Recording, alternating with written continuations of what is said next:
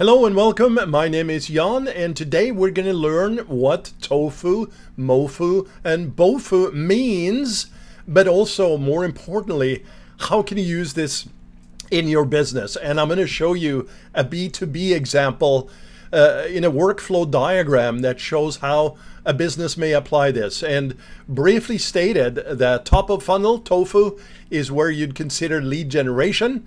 Uh, middle of funnel, M-O-F-U, MOFU, is where you would work on prospect generation, a little bit more closer to the source of the sale, which comes out in BOFU, bottom of funnel, where you actually move them to engage and take some kind of action. So let's get into it.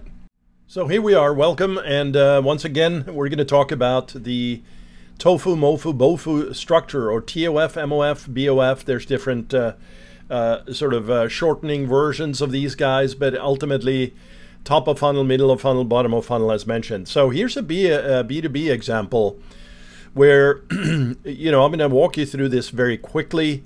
Uh, there is a download for this as well uh, in the description area of the YouTube post. And if you're listening on the podcast, uh, just head on over to my YouTube channel, uh, Jon Rognerud.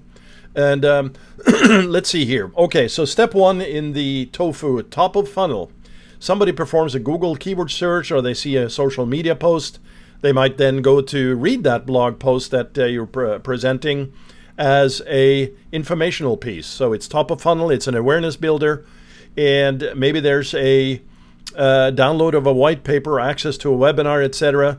And ultimately, you get that lead in, right? We talked about the lead at the top of the funnel. They enter an email campaign and they receive the first email. And they may open it or they don't open it. If they don't open it, we want behavioral targeting based on that click pattern where they receive a second email with an invitation to the, the say, uh, VSL or webinar. Uh, and again, we can break it down further if they open or they do engage, etc. Um, we may even solicit some early engagement here to to get a free trial, but we're not trying to push too hard at this level.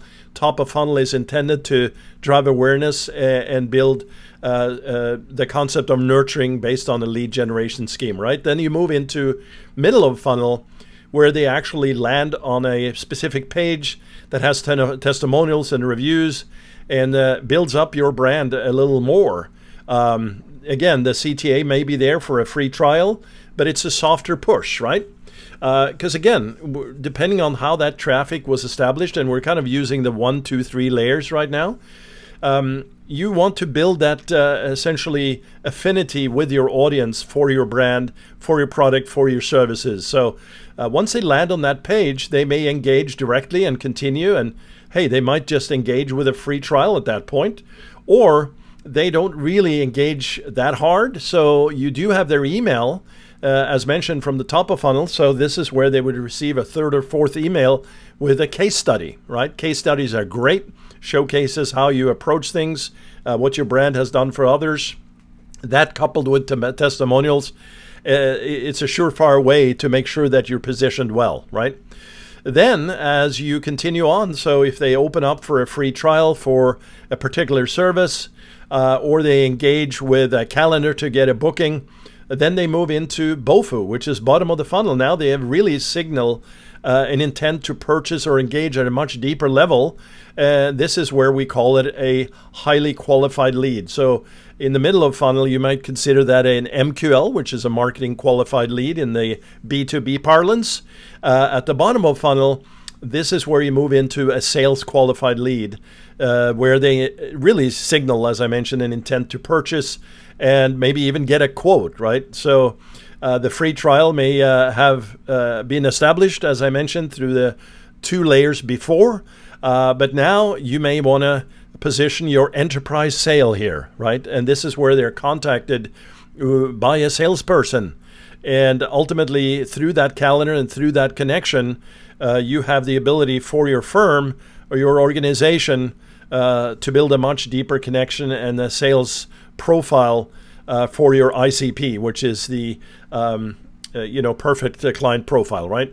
So this is just a simple model, but it is one that is used in the marketplace and one that really leverages the concept of tofu, mofu, and bofu.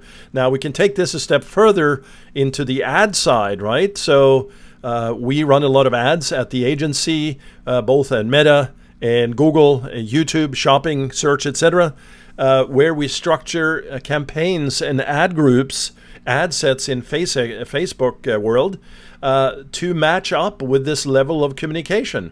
It allows us to easily organize campaigns and uh, and ad groups this way, but it also allows us to have a very simple way to report and uh, organize overall account information, uh, including budgeting, etc. Right. So very often uh, we tend to apply a 70 uh, or maybe 60-40 rule or a 70 15 15 so 70% of budget goes to top of funnel 15 to the middle and 15 to the bottom right um, it's a great way to look at this uh, uh, architecture if you will from not only a content messaging perspective but from a overall organizational perspective.